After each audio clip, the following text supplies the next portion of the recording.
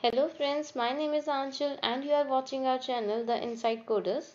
So this video is regarding the projects that we generally create during our college time and even after that for the industry. So here are few projects that we will be covering in this playlist. A part of that, let me just tell you a part of this YouTube videos, we also have some paid courses that our organization provide and these courses are majorly on few languages like Python, Java, C, C++, and all these. A part of that we also cover some subjects that are covered in BTech, BCA, BSc, Computer Science and other things. So these are like data structure, OOPS, DBMS, Automata Theory and all these subjects are covered. Even we have many projects and we also organize the summer vacation project like summer bootcamp which is generally of 6 weeks and also provide a proper certificate to you so that you can show that in your college and the projects cover AI based projects, desktop based projects, web based projects and game development. And a part of that for placement preparation. So for interview preparation, we have a placement preparation batch. So here we have two batches. One is a proper batch and another one is a crash course for the interview preparation which covers everything your technical interview, HR, behavioral and the resume building along with your introduction preparation. So coming to the projects, so as I mentioned, we have trainings for AI based projects which includes a lot of projects. So we'll be covering these projects in very briefly on the YouTube channel. But if you want to understand how exactly these projects are created and want to learn the tech stack of these projects, so you are most welcome and you can enroll us.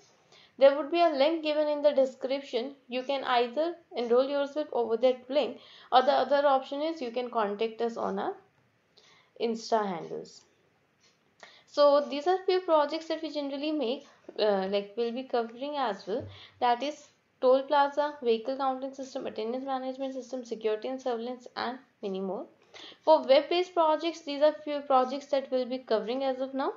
Even though the playlist will be uh, like will be adding on the projects in this playlist itself so please stay tuned for with the and you can subscribe our channel and stay tuned with us so that you can see what all projects we'll be covering. These are few desktop based applications that we'll be creating in Python Tkinter or the other way is using the Java swings.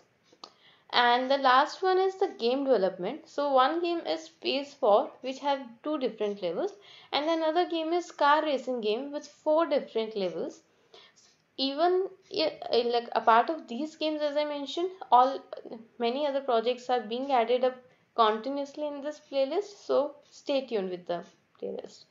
So in this playlist let's see what exactly is the project for us in this specific.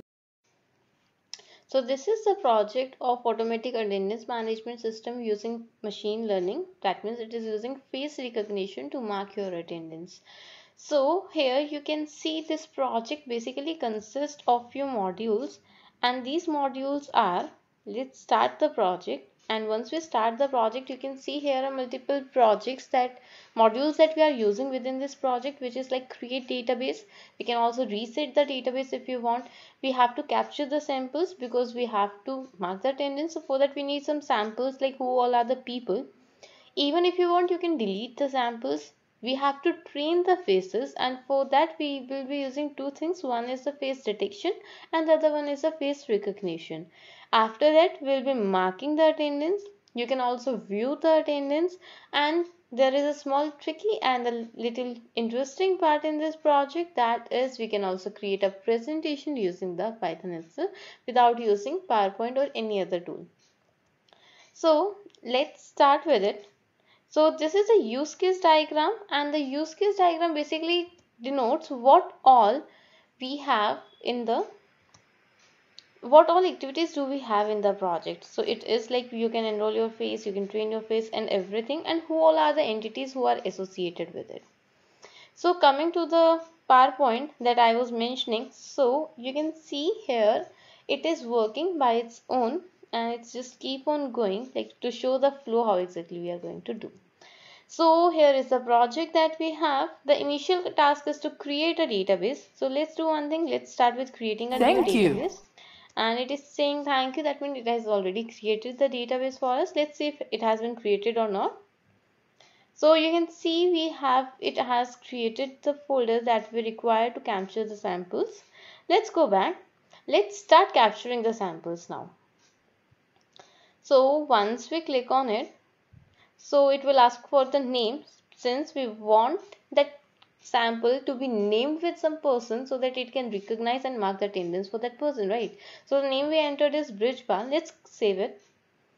Now let's do one thing. Thank you. the capture the samples have been captured successfully. Let's initially see if the cap samples are there or not. So you can see like in the folder itself it was there but the recognizer folder is empty as of now. The next task we have is to train the model. So what exactly train the model is going to do? We are training the model so that the face recognition algorithm knows who all are the people and what are their names. So let's click on train model.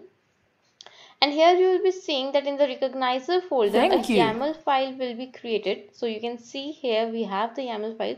Let's open it. And then you can see there is a proper file that we have.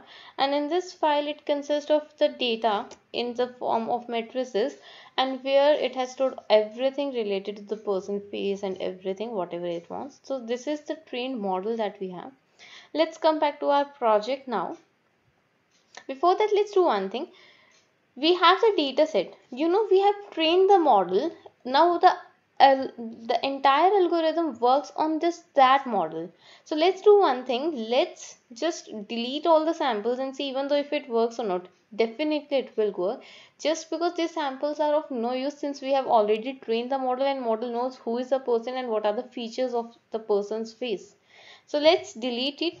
Let's go back to the project. Let's try to recognize the face. So once we click on it, you can see the person's name is being recognized even though the person is moving here and there, but the still the he's the camera is able to recognize it. And once we click on mark attendance, it will automatically mark attendance. Thank you. And you can see there was some date mentioned. Let's see what was the date and everything. So for view attendance, there is a CSV file. So Excel is being maintained for that.